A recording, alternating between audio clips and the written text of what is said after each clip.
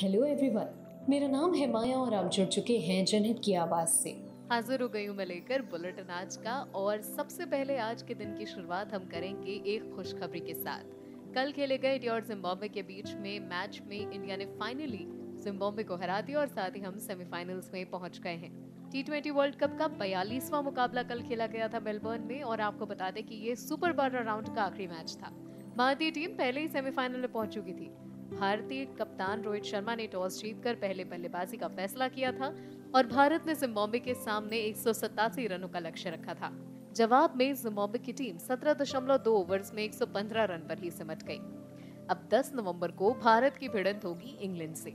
इसी बीच T twenty world cup के इकतालीसवें मुकाबले में जो कल खेला गया था, उसमें भी पाकिस्तान और बांग्लादेश के बीच ये मुकाबला था और बांग्लादेश के कप्तान शाकिब अल हसन ने टॉस जीतकर पहले बल्लेबाजी का फैसला किया था। बांग्लादेश ने 20 ओवर में 8 विकेट पर 127 रन बनाए थे। पाकिस्तान ने 18.1 ओवर्स में पाँच विकेट गवाकर 128 रन बनाकर मैच को अपने नाम कर लिया और इसी के साथ पाकिस्तान भी सेमीफाइनल्स में पहुँच गई है। अब पाकिस्तान न्यूजीलैंड के बीच सेमीफाइनल का पहला मुकाबला 9 तारीख को खेला जाएगा और मज़ा तब आएगा जब पाकिस्तान हरा दे न्यूजीलैंड को और भारत हरा दे इंग्लैंड को। और फिर वो सपना साकार होगा जो हर भारतीय और पाकिस्तानी क्रिकेट के फ़ैन की ख्वाहिश होती है। यानी कि इंडिया पाकिस्तान का world cup final match by God सच बताना, यही ख्वाब पाले बैठे हो ना? होगा होगा, देखना, मेरा दिल कहता है। वैसे कल बॉलीवुड से भी एक बढ़िया खुशखबरी सामने आई। Ranbir Alia finally mummy papa बन गए। उनको भगवान ने एक प्यारी सी बिटिया से नवाजा है। हाँ अभी उनकी बेटी की तस्वीर के लिए हमें थोड़ा सा इंतज़ार करना पड़ सकता है। खैर, बढ़ते हैं आगे। अच्छा हाँ मुझे आपको ना एक काम की बात बतानी थी। आपको भी क्या बहुत सारे मच्छर काटते हैं? हम्म, चलिए आज आपको मैं इसका उपाय बताती हूँ और ये भी बताती हूँ कि ये होता क्यों है। दरअसल होता क्या है कि त्वचा की जो गंध होती है ये हमें तो पता ही है कि हर इंसान की अलग अलग होती है वैसे ही ये अलग अलग तरीके से मच्छरों को आकर्षित करती है।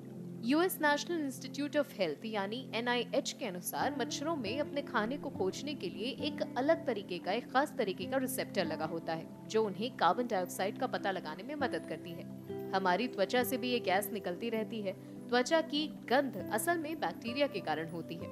अलग अलग लोगों में बैक्टीरिया के कारण त्वचा से दुर्गंध भी होती है, यानी कि जिसको कि हम बैड स्मेल कहते हैं या बैड ओडोर के नाम से जानते हैं। शोधकर्ता बताते हैं कि मच्छर इसी गंध के आधार पर कुछ लोगों को ज़्यादा, जबकि कुछ लोगों को कम काटते हैं। यानी कि अगर आपके शरीर में गंध ज़्यादा है, यानी कि आपके शरीर से कार्बन डाइऑक्साइड ज़्यादा निकलता है तो मच्छरों को वो ज़्यादा आकर्षित करेगा और आपको मच्छर ज़्यादा काटेंगे।